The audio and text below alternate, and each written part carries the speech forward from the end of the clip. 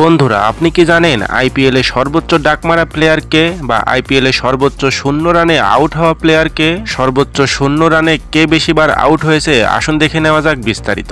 Record ভেঙে record করতে চান অনেকেই, কিন্তু এমন কিছু রেকর্ড থাকে যে রেকর্ডগুলো করতে চান না কেউই। তারপরেও এমন কিছু রেকর্ড হয়ে যায় যে রেকর্ডগুলো খুবই লজ্জা এবং কষ্ট দেয়। এমনই এক রেকর্ড করেছেন অস্ট্রেলিয়ান অলরাউন্ডার গ্লেন ম্যাক্সওয়েল। সেই সাথে এমন রেকর্ডের সঙ্গী হয়েছে ভারতের কিছু ব্যাটসম্যান। আসুন দেখে নেওয়া যাক আইপিএল ইতিহাসে সর্বোচ্চ শূন্য রানে আউট হয়েছেন কে কে এবং তাদের সর্বোচ্চ পাঁচজনের নাম। নাম্বার একে আছে গ্লেন ম্যাক্সওয়েল। তিনি সর্বোচ্চ সতেরো বার শূন্য রানে আউট হয়েছেন। আইপিএল এ সর্বোচ্চ বেশিবার শূন্য রানে আউট হওয়ার তালিকায় নাম্বার দুয়ে আছে দীনেশ কার্তিক। তিনিও সতেরো বার আউট হয়েছেন শূন্য রানে। শূন্য রানে আউট হওয়ার তালিকায় নাম্বার তিনে আছে ভারতের অন্যতম ব্যাটসম্যান রোহিত শর্মা। তিনিও সতেরো বার আউট হয়েছেন শূন্য রানে। আইপিএল এ শূন্য রানে আউট হওয়ার তালিকায় নাম্বার চারে আছে আফগান অলরাউন্ডার রশিদ খান। আইপিএল ইতিহাসে তিনি পনেরো বার আউট হয়েছেন শূন্য রানে। এই তালিকায় নাম্বার পাশে আছে পিয়ুষ চাওলা। তিনিও পনেরো বার আউট হয়েছেন আইপিএল এ শূন্য রানে। বন্ধুরা, ভিডিওটি ভালো লাগলে অবশ্যই একটি লাইক দিবেন আর খেলাধুলার সকল আপডেট সবার আগে পেতে আরিপোয়াল ইউটিউব চ্যানেলটি সাবস্ক্রাইব করে পাশেই থাকবেন। ধন্যবাদ।